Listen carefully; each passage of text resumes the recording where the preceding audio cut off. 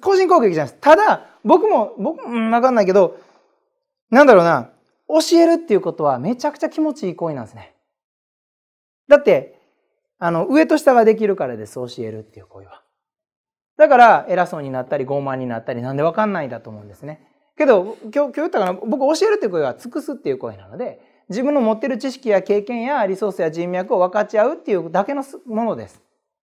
うん、だから遠慮なくこんなことやりたいんですけど、こういう人紹介してもらえないですかって言ったら、いたら紹介するし、いなくても誰かに相談して紹介しますよ。ただそれの繰り返しです。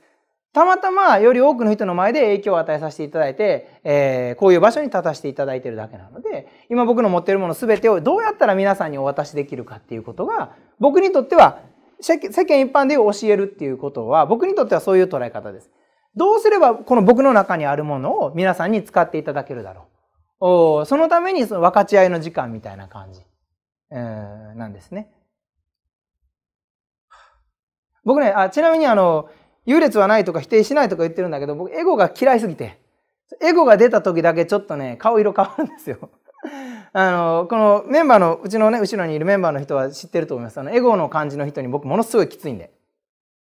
えー、っていうのは、けどそれも愛です。だってエゴがなくならないと、繰り返しますからね、一生。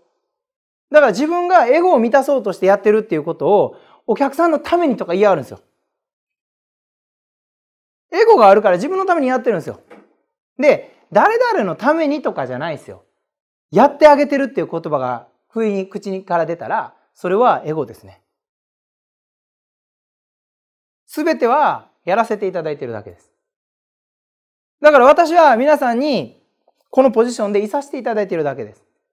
だって皆さんがいなくなったら僕はどういうことが起こるかっていうと、まあ、あの、絵的に言うと、あの、今言ってる話をここにずっとしてる。皆さんねって。エゴがあるとねって。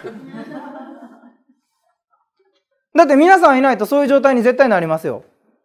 絶対なる。多分今月は頑張って、なんか10時から16時までやったとしても、例えば Q&A の時間とか地獄ですよね。Q を想定して、あ、それはですね、こういうことですねってやらなきゃいけないですよ。ありえないでしょ多分来月できないですね、これ。しかももし皆さんいなかったらお金を払った上でそれやらないといけないですからね。まあ地獄ですよ、会場費払った上で。っていうふうで、どんな立場であろうが、その立場でいさせていただいてるだけなんですよ。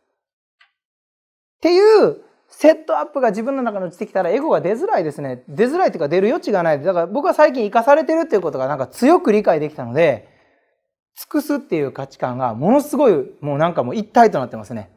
とにかく尽くすしかない。